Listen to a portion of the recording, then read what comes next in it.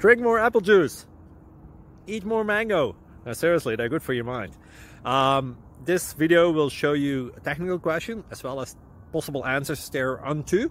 So have a look if it will help you out and um, would you please subscribe and like. Thank you. God bless.